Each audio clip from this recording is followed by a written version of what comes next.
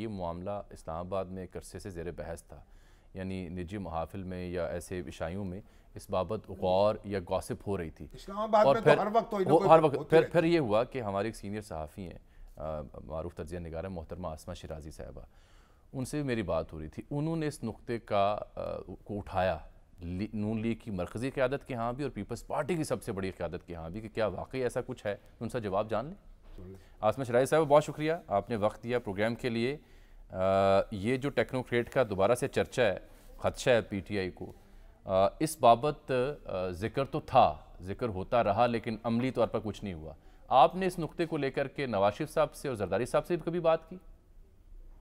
Technocrat के ऊपर तो नहीं लेकिन जो असेंबली की एक्सटेंशन थी इसके हवाले से मेरी ज़रूर बात हुई थी। पहले तो अस्सलाम वालेकुम शामी साहब और आपको भी। जी सर तो ये इस पे हुई थी लेकिन अभी की बात नहीं है, पुरानी बात है यानी पाँच छह महीने हो गए इस बात को लेकिन कोई वहाँ से कोई बहुत ज़्यादा इसके ऊपर जोश नहीं दिखाई दिया था। और इसी तरह से जरदारी साहब से तो रिसेंटली पूछा था तो उनके यहाँ भी कोई इस तरह की बात के ऊपर जो है वो कमेंट नहीं आया बल्कि इसको कोई बहुत ज़्यादा पसंद नहीं किया दोनों लीडर्स ने कि कोई असेंबली को एक्सटेंशन दी जाए या उस तरह की चीज़ जो है वो की जाए। अलबत्ता मौलाना फजल रहमान साहब ये बात कर रहे हैं और फिर हाल ही में इसहाक डार साहब ने हमारे इंटरव्यू में ऑन द रिकॉर्ड असेंबली की एक्सटेंशन या हुकूमत की एक्सटेंशन के हवाले से ज़रूर बात की थी। और इसको इग्नोर उन्होंने कहा था कि इसको आप खत्म नहीं कर सकते। इस बात को हमें प्रीमियर मिलना चाहिए, जो सूरत हाल है, यानी गवर्नमेंट का वक्त बढ़ाना चाहिए। तो इसलिए हमने उनसे पूछा कि कब ये ये कैसे मुमकिन है? तो उन्होंने कहा, अगस्त में इसके ऊपर बात होगी। तो मेरा ख्याल है कि हुकूमत के पास ऐसा बिल्कुल एक आइडिया मौजूद है, लेकिन जहाँ तक टेक्नोक्रेट का सेटअप है। इस पे हुकूमत में किसी किस्म का कोई भी कम अज कम हमने बहुत से लोगों से बात की है। अम, हमारी बल्कि तहरीक इंसाफ के भी कुछ लोगों से बात हुई है। और उनका भी यही कहना है कि इस तरह का कोई मामला जेर गौर नज़र नहीं आता। ये सिर्फ़ साहब है। फिर ये धड़का काहे का है। ये खदशा काहे का है पीटीआई को? कहीं ना कहीं तो ये ख्याल जन्म ले रहा होगा ना।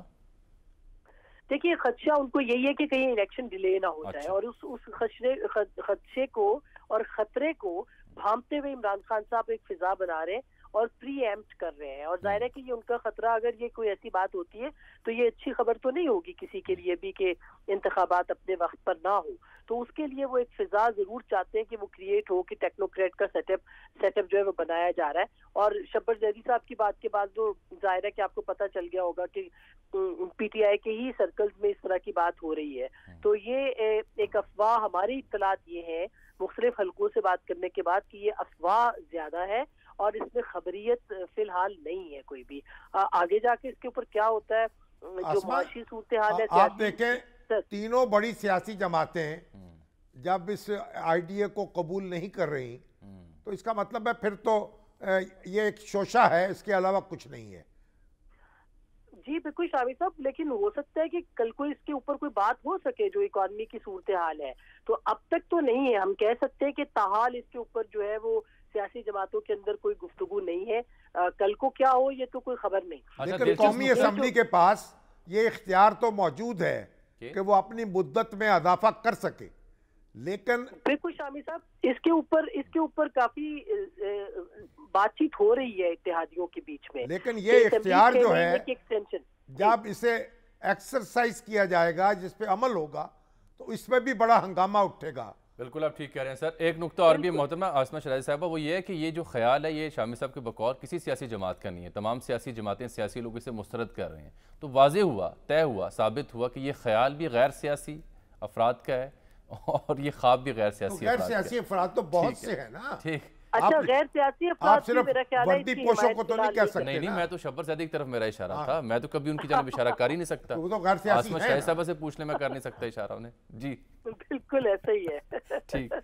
पर पर चलते हैं। लेकिन ये बात देखिए ये गैर सियासी लोगों को की को भी सूट नहीं करती ये बात। इस वक्त देखा जाए तो कौमी हुकूमत ही है।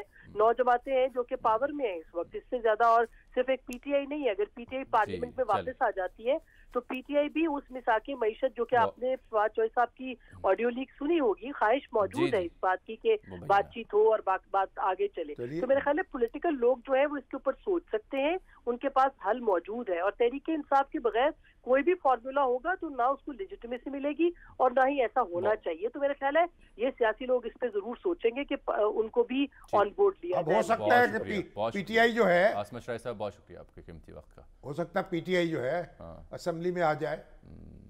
अगर वजी दावत दें अगर वजी दावत दें। अगर वजी दावत दे दे दें दावत।